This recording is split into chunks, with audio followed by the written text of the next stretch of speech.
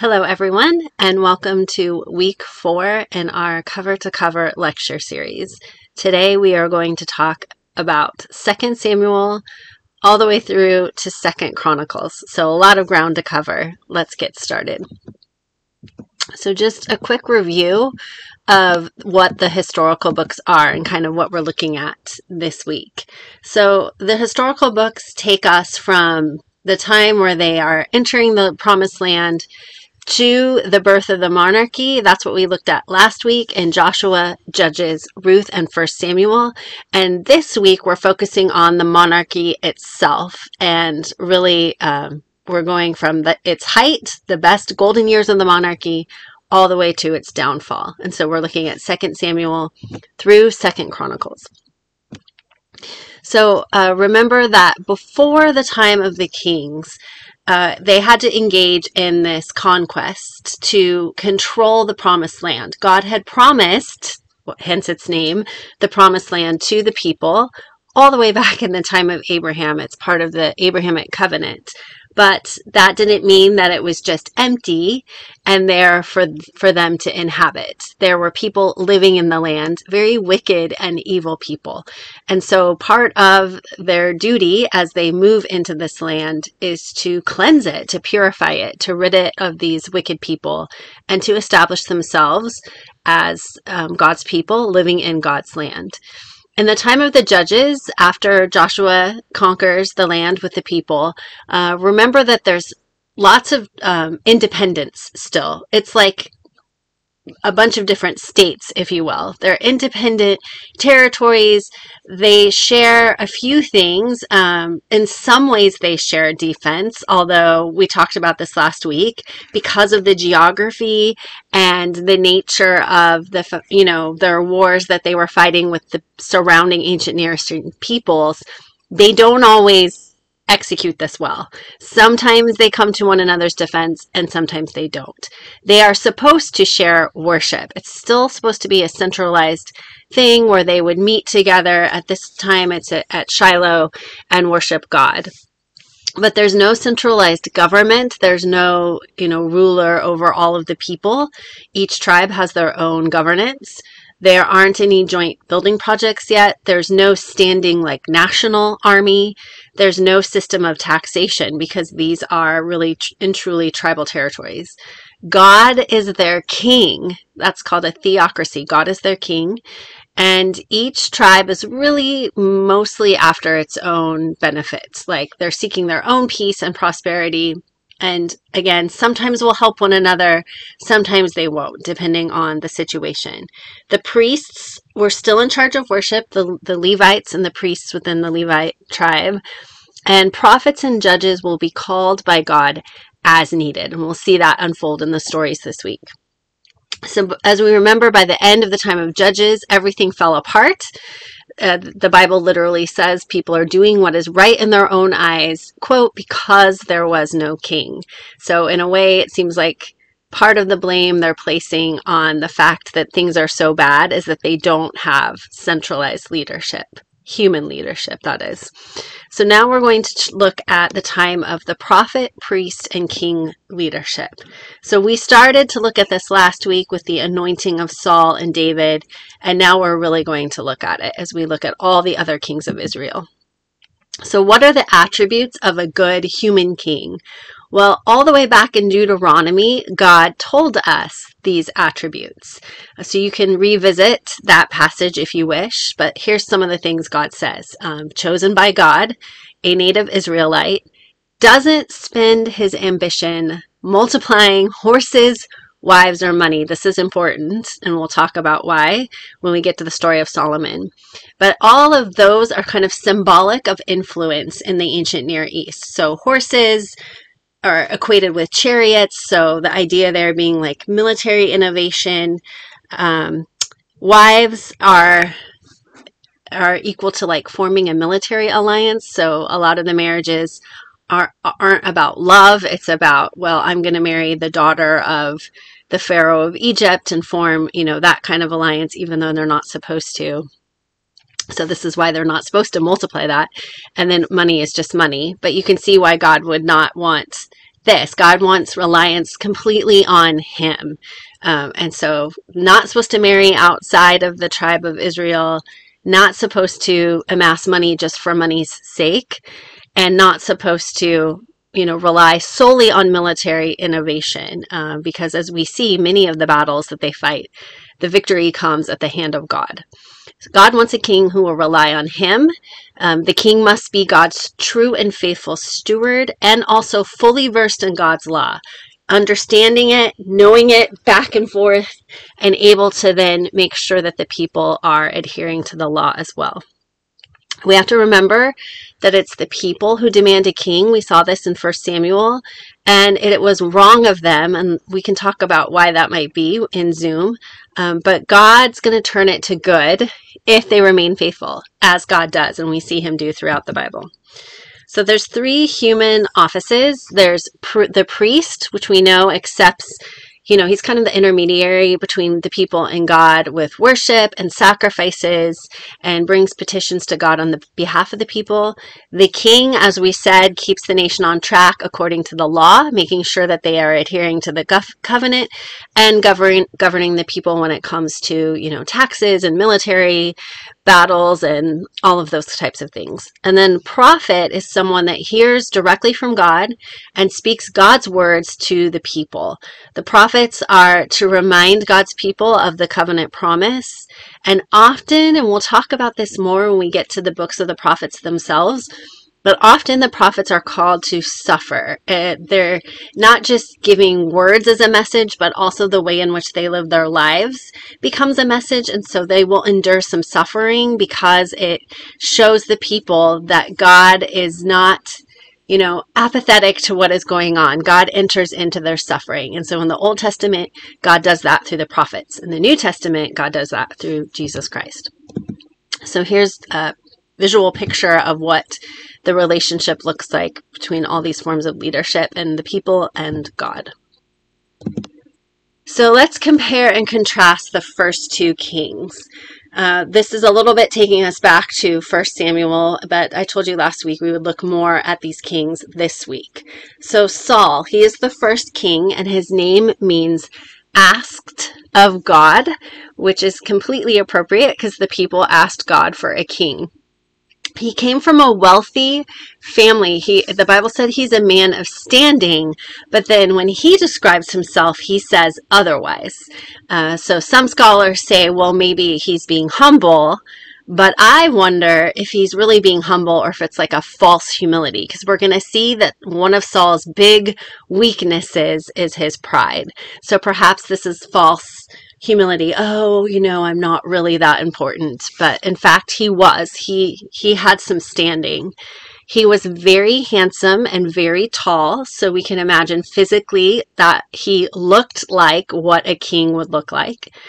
But his spiritual condition does not reflect that perfect exterior but God does send God's Spirit upon Saul. That's part of the anointing process. Then God's Spirit kind of comes upon the king, and he does experience some transformation.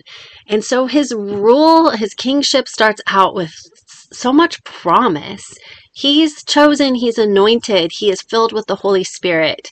He has really widespread support from most of the Israelites and he's surrounded by courageous men who are willing to follow him into battle. So he starts out with like the best of everything, especially when we look at the stories of the rest of the kings. And so at first, things go well. Saul does do some good things during his time, especially with regard to military operations. He has a lot of victories and a lot of success. But like I said, pride is going to be Saul's downfall, and it is brewing within him during this time. So Saul loses the monarchy, he loses his right to be king because he fails to forget whose kingdom he's ruling. So go back to that list that we looked at from Deuteronomy. He forgets that this is not his kingdom. These are not his people. This is God's kingdom. These are God's people. Saul is supposed to be God's representative. And so we see that in a, several instances, Saul takes matters into his own hands. And then when he's called out for doing so, he tries to justify it, such a human thing, through blame and shame, which is what our tendency to do is when we're confronted with sin. And so, really, this shows that Saul's heart is not for God. So, God is going to to strip Saul of his right to be king, but also of his right to be the father of future kings. So God says, I'm not even going to let this continue through the rest of your family. I reject you as king, and I'm not going to allow any of your sons to become kings either. But what we notice is God says this, and then for a while, Saul continues to be king. And a lot of times we see this in the Old Testament where God will pronounce a punishment but then it takes a while for that punishment to actually come to fruition. Sometimes it's quick and sometimes it's drawn out. Punishment is given. God says, This is what I'm going to do to you. But then uh, there's sometimes even years and years in between the pronouncement of the punishment and when it actually is enacted. And so we see that in the case of Saul. Um, Saul continues to reign. Now, God's spirit is said to depart from Saul but Saul continues to be like king. At the same time, we'll talk about this in a minute, David gets anointed, but he doesn't fully take over the role of kingship. There is, you know, a time when they're sort of both there. David's the anointed one, but doesn't have the authority yet by the people. The people have yet to recognize him as king. Saul has had that anointing removed from him, but he is still in power. What is going on with this removing of God's spirit? Is this mental illness? Is this an evil spirit? The way the Bible talks about it is like an evil spirit. God sends the evil spirit. And I think I talked about this last week where that that is a, is a, is not the actual sense that God himself like creates this evil spirit, more the idea that God removes that anointing from him and that allows this evil spirit to take root because he doesn't have that kind of protection that he had from God. So, uh, again, something we can talk about in Zoom if you are interested in unpacking more about Saul. So then the next king is David, and his name means loved one. Again, very appropriate considering the way in which God talks about him. So he's the son of Jesse, which means he's the grandson of Ruth and Boaz, and the great grandson of Rahab. Remember Rahab from the book of Joshua, the Canaanite woman who saved the Israelite spies and hung that red cord in her window. And because of it, she and her family were spared when Jericho was destroyed. So I just think it's awesome that they are part of his family line. Um, he's chosen by God because of his heart, and we we will get to know that heart really well when we look at the book of Psalms. David is a man of worship. We learn that in, in these books that he's he's a singer, he's musical, and so a lot of the Psalms are attributed to David. Saul, obviously the people's choice, the first king, but God is now through David going to show the people what a king looks like when it's when he is chosen by God first and foremost. So David is nice looking, but he's not quite as kingly in appearance as Saul. And because of this, we're told that God does not really care about outward appearances. God looks at the heart. David's family is unlike Saul's is not wealthy. David is the youngest son and he is a shepherd. That means he has no status. Shepherds were not highly regarded. He's not going to inherit anything from his father, not that there was much to inherit in his family.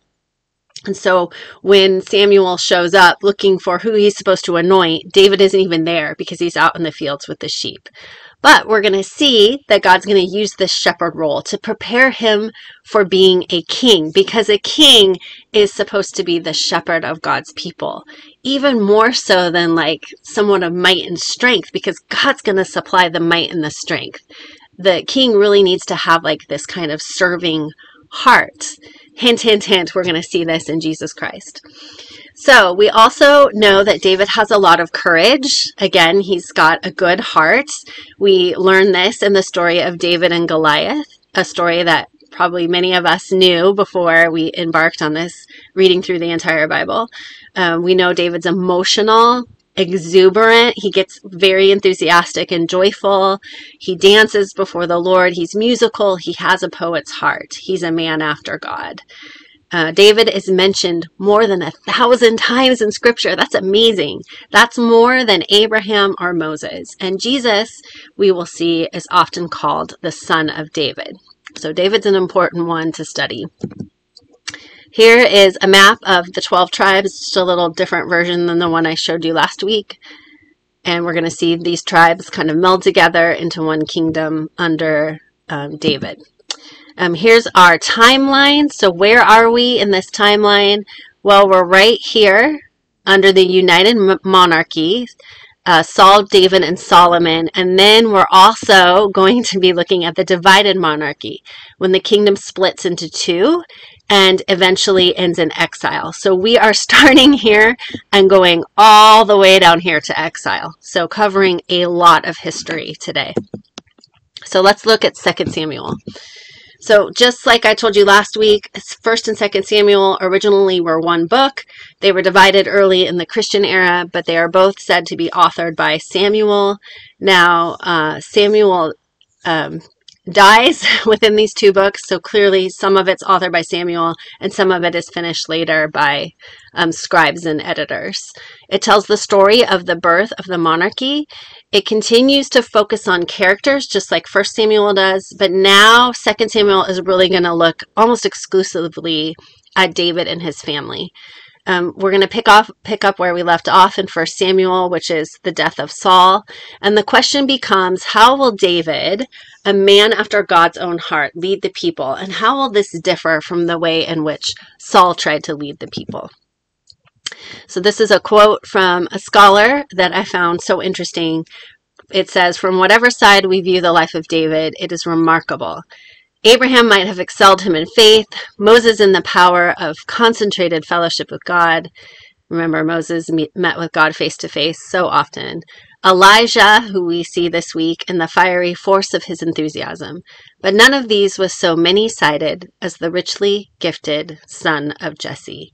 We are going to see that to be so true about David. He is so fleshed out from for us. We see every aspect of him, the good, we see a lot of bad too, uh, but we really get to follow his journey, his journey of faith and leadership with God.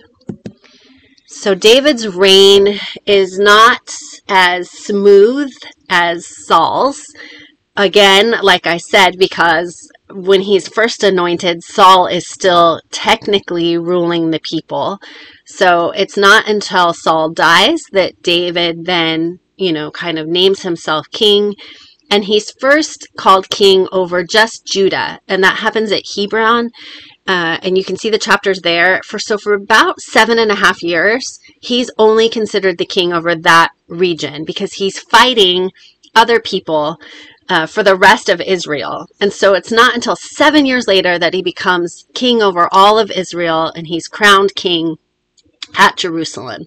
Once he becomes king over the entire territory, he establishes Jerusalem as their capital. He transports the tabernacle into Jerusalem. He drives back the Philistines and subdues all those ites that surround them in the ancient Near East. He establishes national boundaries, and all of this begins what's kind of known as a golden age, and it's going to continue through the reign of his son Solomon and then end, so it doesn't last very long. But for a time, there's like relative peace. Things are settled. The people are putting down roots. There's an actual capital, and there's governance, and there's order. So this is a good time in the history of Israel. But we're going to find out that David is human, therefore not perfect, and he is going to really struggle when it comes to women. And we're going to see this culminate in his sin with Bathsheba. And it's going to become like a generational sin that's going to get passed down through his family line and really do a lot of damage to his sons and the people that come after him. This is some archaeological evidence. It's the first uncovering of evidence of the actual house of David. So until this stone was found, Many scholars believed that David wasn't an actual historical figure, that he was some kind of archetype, almost like an extended um, like story or narrative meant to describe a king, but that he wasn't actually a real historical person. Well, finding this then led them to say, why, yes, he actually was a person. He did exist in history, and the stories about him are true. And this is found in the um, Israel Museum in Jerusalem. So, the Davidic covenant, this is important. So, if you have your Bible with you, turn to 2 Samuel chapter 7. So, remember, we've seen several covenants at this point the covenant with Noah, the Abrahamic covenant, which was, you know, I will make you into a nation, I will give you a promised land. Okay, that's been fulfilled. We've seen the Mosaic covenant, which is the handing down of the law, forming Israel into a nation. And here with the Mosaic covenant, the people take on the responsibility of saying, Yes, God, we will obey you, we will follow your law. Now we're going to have what's called the Davidic covenant. And it is an amazing story, especially when we drill down on the word that in our English translation is just translated house, because it actually has several meanings in the Hebrew. So the word for house is bayit, and it can mean a house like that we live in, a house for a person or a family. It can mean a house for a deity. So, for instance, a temple. And it can also mean like a household, like someone's dynasty. So David in this passage says to God, I want to build a house for you. And by house, by he's meaning temple. And God says in return, No, David, I'm going to build a house for you. And what God means is a dynasty. So, how beautiful is that? That David wants to build a house for God, and God says, No, no, no. I'm going to build you into a dynasty. So, why is this covenant so important? This is the first promise of the Messiah to come. So, let's look at 2 Samuel, starting in um, halfway through verse 11. It says, This is God speaking to David. The Lord declares to you that the Lord Himself will establish a house for you, house meaning dynasty when your days are over and you rest with your ancestors, I will raise up your offspring to succeed you, your own flesh and blood, and I will establish his kingdom. He is the one who will build a house for my name, and I will establish the throne of his kingdom forever. I will be his father, and he will be my son. When he does wrong, I will punish him with a rod wielded by men, with floggings inflicted by human hands. But my love will never be taken away from him, as I took it away from Saul, whom I removed from before you. Here's the important part Your house and your kingdom will endure forever before me. Your throne will be established forever. So, what's going on in this passage? Well, God is referring to Solomon, who will be David's son, that will be the next king, and Solomon will actually build the temple for God. But he's also referring to David's dynasty, which will culminate in Jesus Christ, because as we will see in Matthew 1, Jesus' genealogy includes King David. So the from this passage, the prophets of Israel are going to say that a Messiah is coming, someone to save the people, and that this Messiah will be from the line of King David. So, this is an important promise and one that we will see emphasized over and over in the books of the prophets, and especially in even next week when we talk about the time after the people return from exile. So Israel has thought that a human king is going to be the answer to their problems. They just need centralized human leadership to help them. But we're going to learn that it's not enough. And that even though they do have a king, God continues to expect all the people themselves to be obedient to their covenant. He expects each individual to trust in God. And we're going to see that God's response to disobedience, to disloyalty to the covenant, will remain unchanged. The people will endure punishment, as God has said, if they don't obey God's law. So the turning point for David happens in 2 Samuel chapters 11 and 12, and this is the story of his sin and adultery with Bathsheba. And it's going to create so much chaos in his final years. The ramifications stretch on to the generations that follow David. Um, his sons will turn on him, they turn on one another. A lot of them have the similar sort of issues with women. Um, and so we see the humanness, the sinfulness of David. Now, David does repent. So, unlike Saul, who was sinful and prideful and didn't repent, and when he did, it was like half hearted and weak, and often blame and shame accompanied that, you know, quote, repentance. When David repents, it's genuine. He is truly sorry. He God accepts that repentance as being a true act of David's heart. And that becomes the difference. It's not that David is so much more perfect than Saul is, but David has a heart for God and he does repent. He will humble himself when necessary. But even though that's true and God forgives David and God extends grace and mercy, that doesn't erase the ramifications of sin. There are consequences to sin. And often those consequences fall on innocent people, people, you know, in the periphery, the generations that come after us, even. And that's what happens in the story of David. Still, though, all future kings are going to be measured by David. Uh, he is considered a great leader. Again, he's a man after God's own heart. But David is just a person. So, what this tells us is that all future human kings, even the best of them, are not going to be able to save the people. They are not going to be themselves this Messiah that is talked about in the Davidic covenant. Something more is needed. What that's going to be, well, we'll find out as we continue our journey through the Bible. So the end of Second Samuel, David's story ends with a, a, bunch of stuff that's not in chronological order. So you can imagine like there's a few other accounts, pieces of papyrus with bits of story on it. And instead of trying to figure out where to put it in David's chronological story, they just sort of stick it at the end. So we've got like a bunch of lists, David's final words, and then the story of David and the census, which we'll talk about in a minute.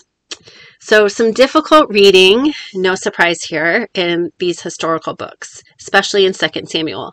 So, the first passage I want to highlight, and you might have your own, which please let me know and we can talk about them in Zoom.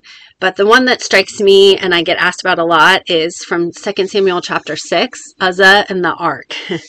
uh, so, this is one of those instances where the punishment is swift and severe. And so for us, it stands out as like, whoa, what happened? The poor guy was trying to steady. If you remember, they're transporting the Ark of the Covenant on a cart. The ark starts to slip, and Uzzah reaches out his hand to steady it. And God, like, bam, smokes him dead right there. And we think, whoo, that is harsh. And, you know, he was just trying to keep it from falling. So why is this something worthy of death? Well, we got to go back to what we learned in Deuteronomy. There was laws regarding how they were supposed to transport the ark. Certain people were given that job. They were supposed to carry it on poles, not on a cart. Carry it on poles, rest, you know, with the poles resting on their shoulder again would have been probably a little easier to control it falling from the ground. Uzzah was a leader. He should have known this. This was his responsibility to know. Also, David's responsibility. Everyone involved in the transportation should have known better and said, We need to do this the right way, how God told us to. And remember that fire analogy I talk about when I talk about God's holiness. If you put your hand in fire, you will be burned unless there's protection. That's why God gives these laws regarding how to transport the Ark of the Covenant. So when he touches it, he's putting his hand into the fire. It would have actually been better to just let it fall on the ground and then somehow use poles and boards to lift it back up on the cart, although really they should have been carrying it the correct way to begin with. The next story that is very tough to read is the story of Amnon and Tamar. Um, it ends, you know, she, it's her brother. She goes to help him. He develops these lustful feelings for her and sort of tricks her into coming to his bedside and then takes advantage of her and rapes her. And then once that's done, instead of marrying her as he should have, that would have been the, I guess, the right thing to do. It was the law that if you uh, violated a woman, then you needed to marry her so that she could be provided for. Instead, he sends her away. And so the Bible ends, that story ends with Tamar living as a desolate woman in the house of her brother. Um, because she couldn't then be given in marriage to anyone else because she had been you know, she was no longer a virgin. It's a brutal and devastating story. And David really doesn't do much about it. He kind of just lets his sons battle it out. And it, it ends up costing the lives of not just Tamar, who, you know, her life is ruined, but the lives of his sons because because of this they fight amongst each other and they kill one another and it just is it's a disaster. And we really don't see david stand up there. He has a bad track record with women. We see this with his first wife michal um, yes she has her own issues but he does not treat her well either. We see this with abigail. Remember the story of abigail and nabal? Abigail is this wise woman who prevents david from murdering her fool of a husband and then David takes her to be his wife. So clearly he sees women as sort of just property that are his for the taking. And he's a man of emotions and passions. And so we see that when it comes to women, hence his sin with Bathsheba, and then obviously his own daughter, Tamar.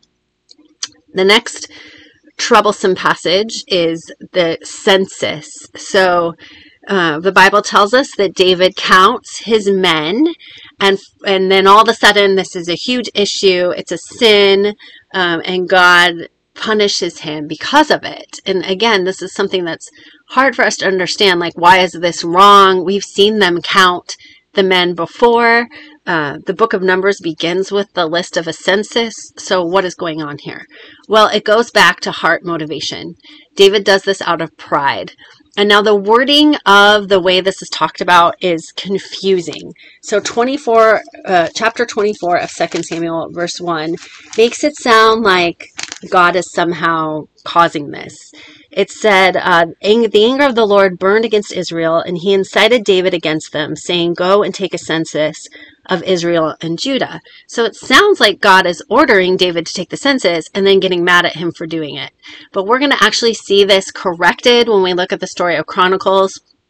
It's not that God is ordering David to take the census. That wording is confusing. Actually, David takes it upon himself, and it's an act of pride. But we see, again, David's humility, David's willingness to repent. Um, so when it comes time to punishment, God kind of gives him three different options famine, war, or plague. Uh, famine wouldn't necessarily affect David. He was a king, he was a man of means. He probably had, you know, stored up food to get him through such a such an event. War wouldn't necessarily affect him because he wouldn't have, you know, gone into the battlefield himself as the leader and especially as an older leader. Uh, but plague is it can affect indiscriminately, and so he chose chooses plague because part of the punishment falls on himself. He's very humble. He um, sets up the threshing floor and repents to God, and God accepts that. Uh, again, God, David has a heart for God.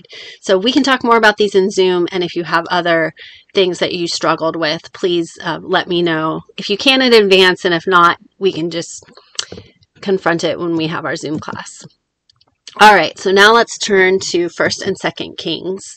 Um, so most likely these books were put into written form during the time of the exile by priests and scribes. I'm sure some of it is being written down as it's happening, but the actual piecing together and creating the book that we have happens uh, during exile and probably after the return from exile as well.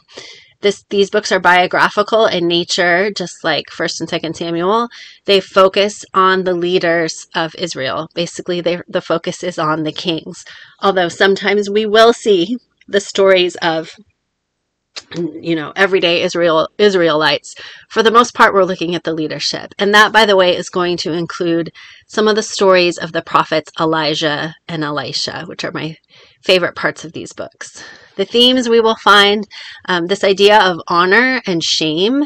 Um, this is something also we'll see in the New Testament as well. It's a cultural difference from like what we find living in the United States or in most of the Western world.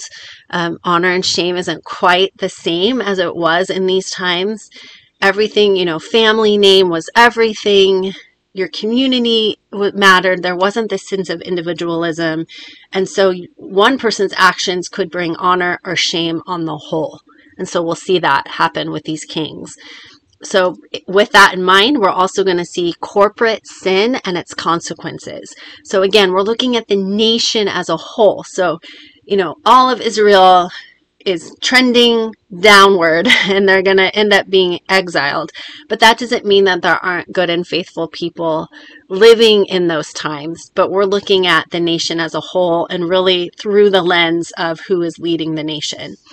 We're going to see generational sin continue, the ramifications again of David's passions and the mess that he makes with the women in his life extends to his sons, and then it just keeps multiplying. We're going to also see, as we have already seen in the Bible, unexpected people uh, be elevated. So, one wonderful story is that of Mephibosheth, who is injured and maimed, and yet, um, because he is related to David's best friend Jonathan, David gives him honor despite his condition. And it's just this beautiful foreshadowing of what Jesus Christ does for us. And also the Gibeonites, remember them from the book of Joshua.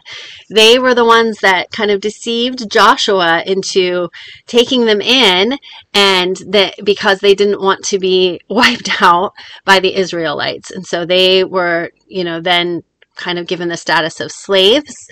And um, during the time of the kings, they are murdered and attacked by a, another nation. And God says, I don't care, even though they're slaves, I want you to avenge their death. And so we see that that happens. So again, these slaves that most people would think no one would care about, God indeed does care about what happens to them.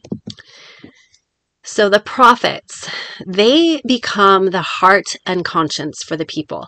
So we're going to see a lot of bad kings. Most of them are bad, or at least in some way bad. But the prophets are kind of this way for God to still reach the individual people. They become God's mouthpieces. So the first that we learn about is Elijah, and he stands out especially for his showdown at Mount Carmel with the wicked Jezebel.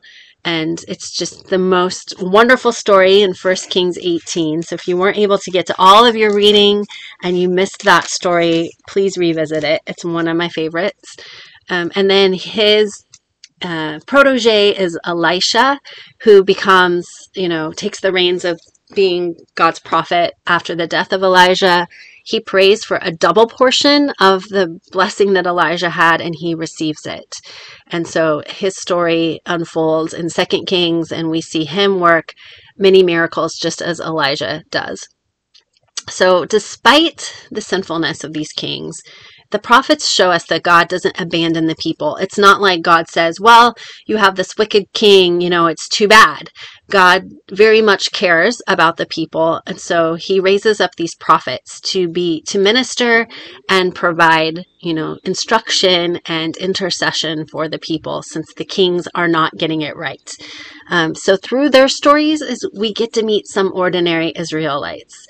Um, you know, the Shunammite woman and um, just some of the people that they encounter on the way. Uh, and so we see that there are faithful, good hearted people trying their best living in Israel. Just because the kings are bad and the nation as a whole is trending bad doesn't mean that every single person is, you know, without hope. And in a way, it kind of speaks to our current time. Like, things are not good in the world right now. There's a lot of anger, a lot of animosity and just issues abound, but there's also good people living amongst it. And so, why sometimes our leaders might not seem to get it right, uh, a lot of times the stories of individual people show that there are still people out there with good hearts. They're still faithful people. So, in, in some ways, it parallels somewhat our own time.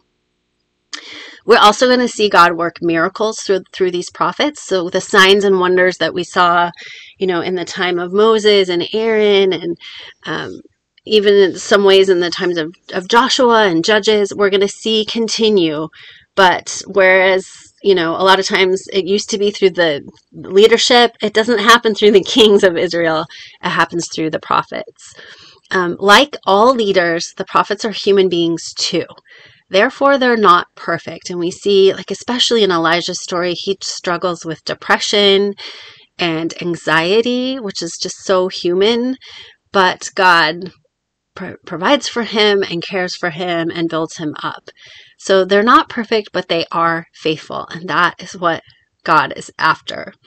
So, in the books of the kings, the stories of the prophets are interwoven with the history of the monarchy, but that's going to change. Pretty soon, here, we're going to get to the books of the prophets, beginning with Isaiah, where their stories are pulled out and become their own books. And it's the same time period of history, it's just through a different lens. But here in 1st and 2nd Kings, the stories of Elijah and Elisha are woven in.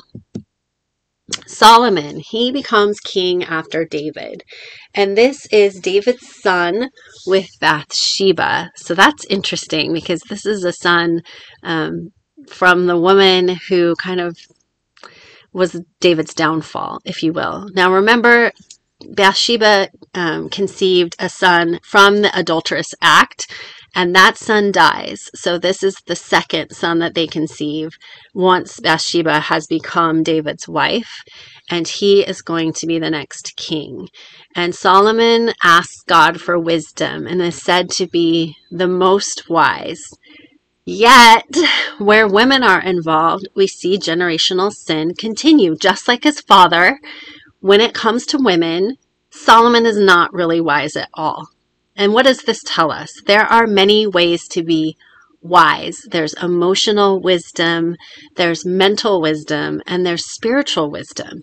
And so, why maybe mentally he's wise, and at the beginning, spiritually, he's wise, emotionally, he loses it. Uh, and this is that generational sin continuing.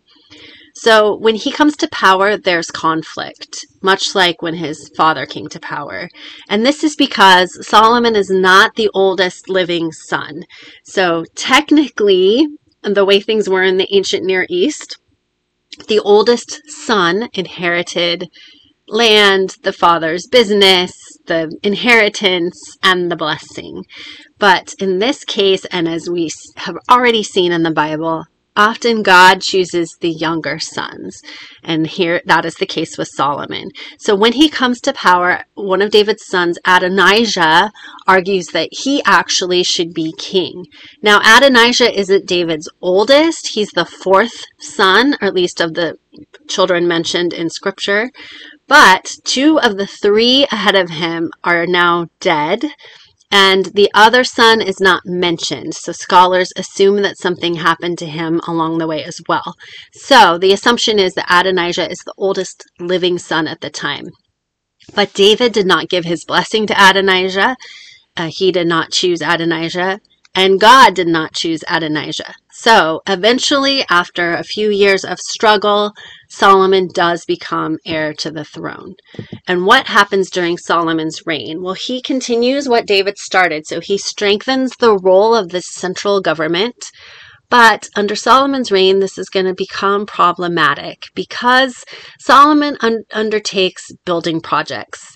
The temple, which, you know, was supposed to happen, God prophesied this, but Solomon's also going to build himself a palace and build some other buildings. And because of that, what does he need? Money and means. And so up go the taxes. And this is an issue because, especially the people living in the northern part of the kingdom, they don't have as much money. That territory is rougher, they're more like farmers, and so they're not able to provide, and yet they're still taxed, the same as the people living in the city or the merchants who make more money. So it's kind of a flat tax, I guess, at this time is the best way to explain it. And this means that the people living in the north are going to suffer because they can't afford this tax. And this is going to cause resentment among the northern portion of portion of the kingdom. So Solomon um, does build the temple. He also doubles the footprint of Jerusalem. So, like I said, he takes on a lot of building projects and he constructs a palace for himself. Now, this is really the only time in Israel's history when they have had the ability to do any of this. They now have wealth, they have a centralized government, and they are, for the most part, at peace. And so, because of that, they're able to complete these building projects, whereas in the past, they've been fighting for survival. So, it takes Solomon seven years to build God's temple, but 14 years to build his own palace. Hmm. That seems to me, to me that to be problematic when it takes twice as long to build something for yourself as it does for God. So, like I said, Solomon's known as one who is very wise, but that doesn't mean that he is does not fall prey to sin and temptation and so he becomes consumed by his own power and wealth and influence and he breaks all those kingly rules from Deuteronomy 17 he multiplies his silver and gold he multiplies his foreign wives as we learn he's married to like 600 something women which clearly that's got to be a symbolic number because I don't even know how that's possible and he multiplies his horses and chariots. Uh oh, not a good sign. So, just quick, brief to show you the territory. So, here, this kind of, it looks like California almost, is the city of David. And then the green here, I'm tracing my cursor, is what Solomon builds. So, I mean, like triples, quadruples even the territory. So you can see why he had to tax the people so greatly. And then this kind of purpley color is added under the rest of the kings of Israel. So this is what the city is going to look like, um, you know, going forward after the time of the kings. Here is a picture of Solomon's temple. This is very much looks exactly like the tabernacle. It's just now a permanent structure. So you can see it looks very similar if you look back at our past PowerPoint presentations. And here's what it looked like on the inside. So unlike the tabernacle, because it's a permanent structure, it's even more magnificent, gold overlaying everything. I mean, look at the inside, like your eyes hurt. There's so much gold in there. Uh, just a gorgeous, expensive, amazing undertaking. And there's, um, you know, you can zoom in and look at some of the the comments on this diagram. I'll let you do that later. And then here's the map of the United Kingdom of Israel. So basically all those territories are now molded together as one with central rule occurring down here in Jerusalem, right where that star is. So peace does not last long. This is not surprising because again, the resentment building in the northern kingdoms because of taxes and then Solomon's issues with the multiplication of all these human resources. And because of this, Israel divides into two kingdoms. Um, so the this is described for us in First Kings. So if you look at First Kings 11, try to get it open. Um, there's a whole heading, Solomon's wives. so if you start at verse 9, the Lord became angry with Solomon because his heart had turned away from the Lord, the God of Israel. Although he had forbidden Solomon to follow other gods, Solomon did not keep the Lord's command. This is because of the influence of those wives. He's multiplying and marrying all these women, and a lot of them are foreign women. And so they lead him astray. And so, halfway through verse 11, God says, I will most certainly tear the kingdom away from you and give it to one of your subordinates. But for the sake of David your father, I will not do it during your lifetime. I will tear it out of the hand of your son.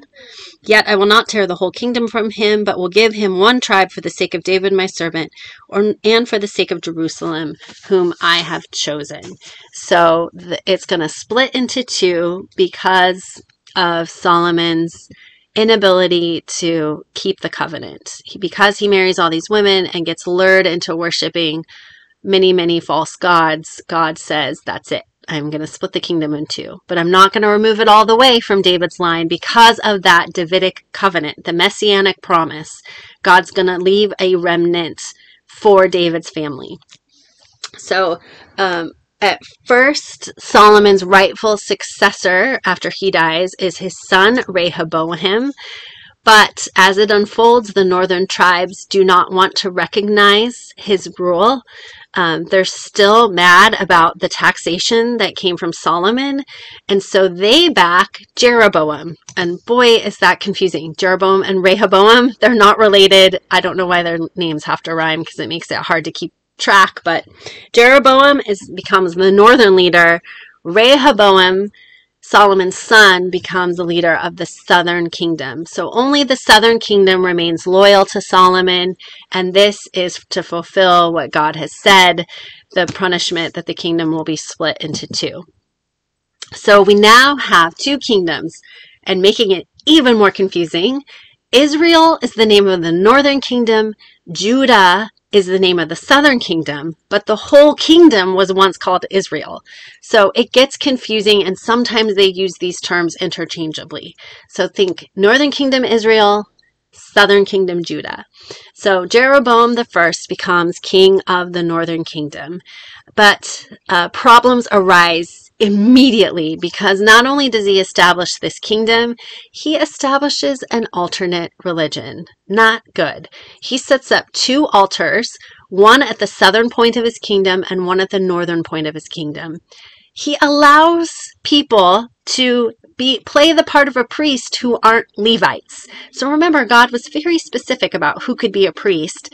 This guy disregards that completely and allows anyone who wants to become a priest. He does this because he's worried that if the people go to worship in Jerusalem as they are supposed to, if they go down for their festivals and centralized worship there, that they might be lured to give their allegiance to Rehoboam and he might lose his power. Jeroboam is worried about that. Um, so what's going on here? Well, God did sanction political division. That was the punishment. But God didn't intend for religious division. They would still, God would have still expected them to worship together in Jerusalem with the priesthood system. Uh, but Jeroboam is more concerned with his own power, and so he disobeys this. And to top it off, he sets up golden calves on the altars of his you know, the two altars. And he says, directly quoting Aaron from the golden calf incident, that these gods led the people out of Egypt, these golden calves that he created. Clearly, God is angered by this. God is the true Savior and Redeemer, not some golden calf created by a human being. And so the northern kingdom is condemned right away in 1 Kings 13 34. So let's look at that passage. God says, This was the sin of the house of Jeroboam that led to its downfall and to its destruction from the face of the earth. So the northern kingdom is eventually going to be completely wiped out. And again, as we've seen, God will make, pronounce the punishment, but it takes a while. In this case, many years and many different kings come to power before the uh, punishment is actually comes to fruition. So, um, Jeroboam also establishes his own capital, Samaria, or actually, it's established after the time of Jeroboam under the rule of Omri. So, Samaria becomes the center point of the northern kingdom. Uh, if you know the New Testament, you might have heard of the Samaritans. They are going to come from this region later, not not yet, but they will come. And it really becomes just a matter of time before the northern kingdom is taken into exile by the Assyrian Empire in 722 BC. Now, the Assyrians are awful, evil, monstrous people. And so, by taking these northern people captive, they really mean murder. Most of them are killed and the rest of them are so assimilated into Assyrian culture that they lose their sense of identity. So at the same time as the Assyrians are taking the Israelites out of the northern kingdom, they're replacing with their own people. So they send Assyrians to inhabit this place. This is going to be the people that then give birth to the Samaritans, but we'll talk more about that as we um, look at it next week. So here is the map of these divided kingdoms. The purple is the northern kingdom of Israel, the blue is the southern kingdom of Judah. And here is a chronological timeline of the different kings of Judah and Israel. So what gets confusing as we read 1st and 2nd Kings is that these names are interchanged. So for you know a while they'll talk about the kings of Judah, then they switch to the kings of Israel and then back and forth until Israel is taken away taken captive, that northern kingdom, and then we're just left with the kings of the southern kingdom. So this sets it a bit more into chronological order for you because it's not so as you read scripture. Most of the kings, both of the northern and southern kingdom, do evil in the eyes of the Lord. You see this phrase repeated a lot. David's line does continue as God promised, but the cycle of sin that we saw in Judges reemerges. So people sin. This leads them to be oppressed by foreign nations and sometimes leads them to cry out for deliverance or a good king will come to power that will deliver them for a while, but then they sin again. And eventually, just like in Judges, this unravels to the point where both the northern and the southern kingdom are going to end up in exile. So there are a few bright spots. There's a few good kings. There's Hezekiah. Um, he stands up to the the ruler Sennacherib. He removes the high places and cuts down the Asherah poles, so getting rid of uh, idolatry and false worship. We also have King Josiah. Um, his prophet Hilkiah finds the book of the law and brings it to Josiah. Josiah realizes that they have not been following the covenant, and so he leads the people in a renewal of that covenant. So those are some good spots. not very many. Most of the kings, like I said, do evil in the eyes of the Lord. In between Hezekiah and Josiah, we have the wicked king Manasseh. And he is the proverbial straw that breaks the camel's back for the southern kingdom of Judah. So if you look at 2 Kings 21, verse 10, it says, um, wait, do I have this right? Oh, hold on, I'm in First Kings. Sorry, that's why I didn't look right. Second Kings 21, verse 10. Um, the Lord said through his servants the prophets, Manasseh king of Judah has committed these detestable sins. He has done more evil than the Amorites who preceded him, and has led Judah into sin with his idols. Therefore, this is what the Lord, the God of Israel, says I am going to bring such disaster on Jerusalem and Judah that the ears of everyone who hears of it will tingle. And he goes on, blah, blah, blah, chapter, or verse 14, I will forsake the remnant of my inheritance and give them into the hands of enemies. They will be looted and plundered by all their enemies. They have done evil in my eyes and have aroused my anger from the day their ancestors came out of Egypt until this day. So that's it. God is done, his patience is worn out, and so here he pronounces punishment on the southern kingdom. So by now, the northern kingdom has been wiped out. The southern kingdom lasts longer than the northern kingdom, but at this point, because of Manasseh's wickedness and just everything that's preceded him, God pronounces punishment. Like this kingdom also is going to be destroyed and taken nice. taken into exile. So, if, I don't know if you could just hear my watch tell me that that was not nice for saying that. I must have accidentally hit Siri. So, anyway, my watch is judging me for talking about destruction. Um, okay, so the monarchy, the divided kingdom. So Judah, what happens to Judah, the southern kingdom? Well, in 605 BC, they're defeated by a man named Nebuchadnezzar. We're going to see him again in scripture next week. And um, this is the beginning of the end. So he installs a man named Jehoiakim as a puppet king that he kind of can rule through. And what follows are three different waves of exile. So the first two waves are smaller groups, mostly made up of like leaders and influential people that are taken off to Babylon. And then in 586 BC, the rest of the people are taken into captivity. There are a few that are left, but they are like peasant farmers that just have no influence whatsoever. And just like uh, in the Northern Kingdom, Babylon sends its own people to sort of inha- inhabit the areas around Jerusalem, but Jerusalem itself remains desolate. No one, no one is there. It's just destroyed. The temple is razed to the ground. Um, it's left, the walls of Jerusalem are torn down. It's left in rubble and ruin, uninhabitable. Not a good end for God's people. But hope remains. The promise in Isaiah 9. So uh, we're going to see how God rebuilds the kingdom or rebuilds his people anyway in next week's reading. So just some pictures. I'm not going to spend too much time on these. You can look through them yourself, but this is that altar that was set up in Dan by Jeroboam the first. So under that like metal canopy structure is the altar itself, and that's where the golden calf was that the people worshipped. And there's some more pictures. This is Mount Carmel, where the showdown happens between Elijah and Jezebel's prophets. And this is Tel Megiddo. This was the home of Jezebel and Ahab's summer palace and it looks out over the valley of Megiddo. Megiddo is also where Armageddon will take place. So I'll let you go through these on your own. Oh, one last thing to talk about this circle here.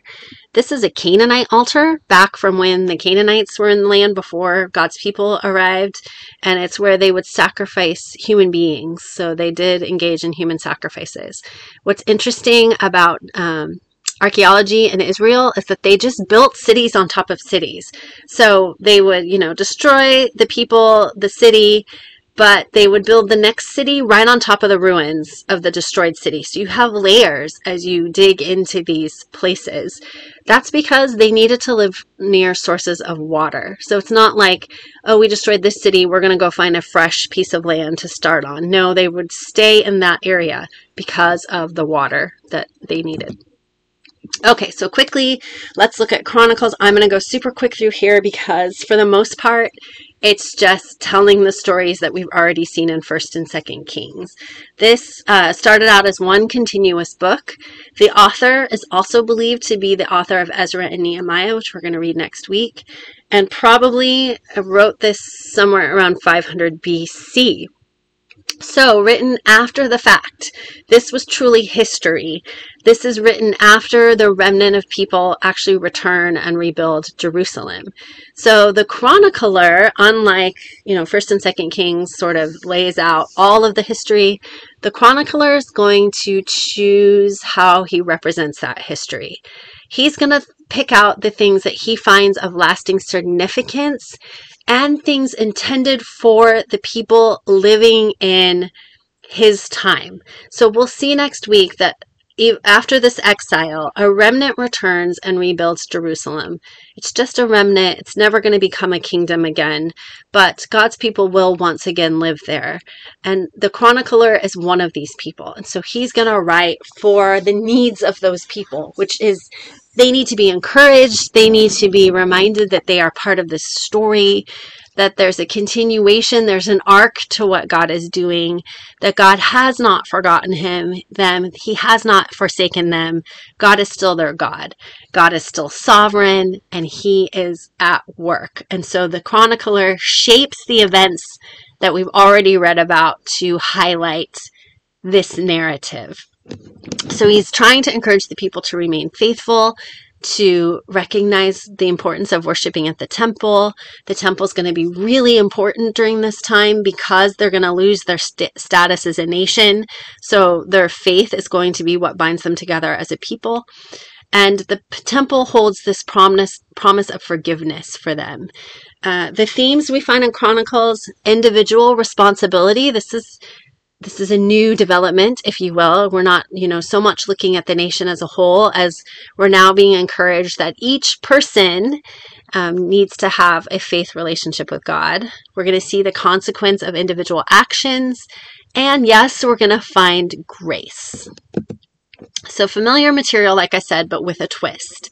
One half of the material is repeated from what we've already read in 1st and 2nd Samuel and 1st and 2nd Kings, but like I said, highly interpreted.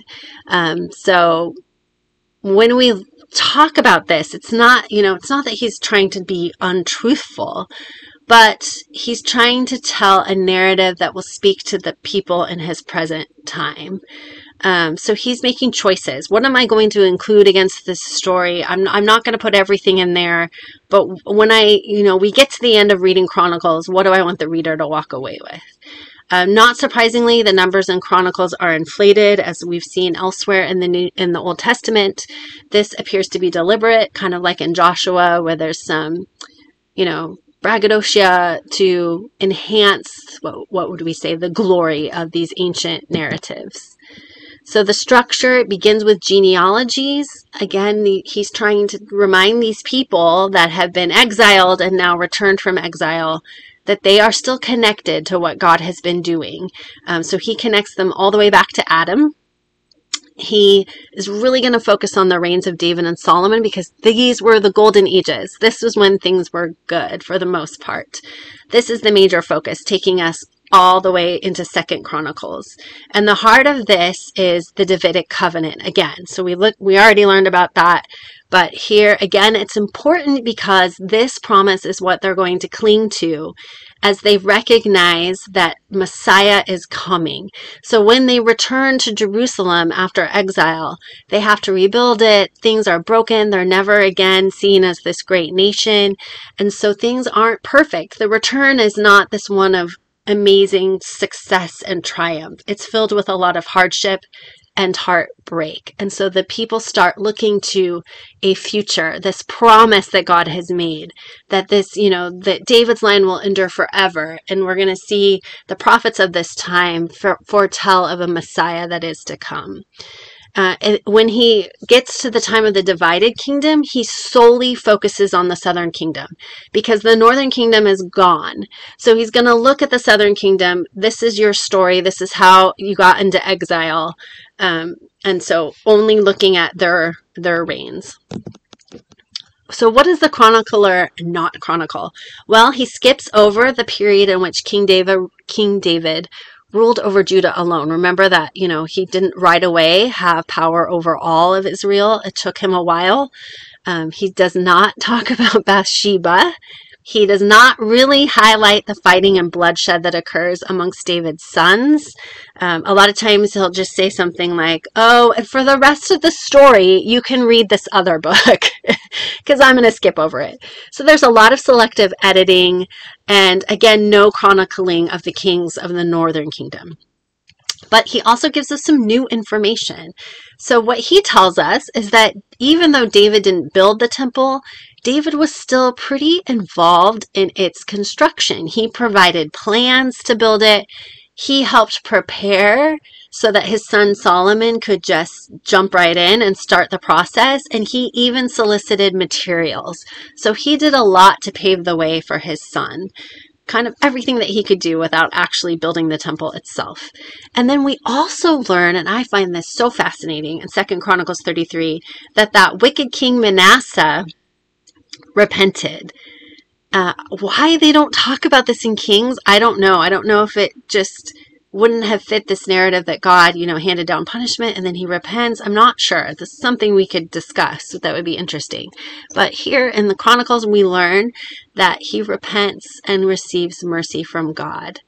And ooh, this just hits a spot within us because we see the truth that God can restore even the worst of sinners. We're going to see that truth in the New Testament, but we even see that here in the Old Testament. So it's a good story. If you didn't have a chance to look at it, go look at Second Chronicles 33. There's some difficult reading. The story of Uzzah and the ark again. I'm not going to talk about that again, um, but you can look at the slide and we can talk more about it in Zoom if there's something that you still have a question about. Um, high places. So a lot of the kings are said, you know, this king removed some of high places, but then some don't, and what is going on? Um, so there's kind of two types of high places. There are high places for pagan worship, which obviously is bad in every way. But then there's also high places where the people are worshiping God. And that in its way is bad as well. Even though they're worshiping God, which is good, they're supposed to be doing that in Jerusalem in a centralized location. So uh, God wants those to be removed as well. So for instance, King Asa will see that he removed the high places But then we read that he did not remo- remove all the high places. So what's going on here? Well, he removed all the high places being used for pagan worship, but he didn't remove all the ones being used to worship God. And so God calls him out on that. And then we also have David counting the men, which I talked about. So you can read through this slide as well. And again, if you have questions, we will talk about it in Zoom. Um, so Jerusalem falls. This is depicted in Chronicles. Despite repeated warnings through God's prophets, which we're going to see when we look at the book of the prophets, the people continue to reject God, and they do so in three ways. They're unfaithful, they allow the temple to be defiled or participate in it themselves, and they laugh at and mock the prophets. And so this we will look at in depth when we get to the books of the prophets. So the temple is destroyed, as I said, Jerusalem is left in rubble, and the people are carried off to Babylon. But there is hope.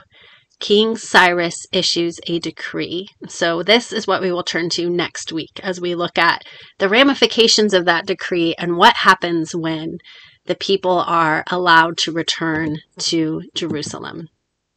And finally, I had a great question in Zoom last week about women in the Old Testament.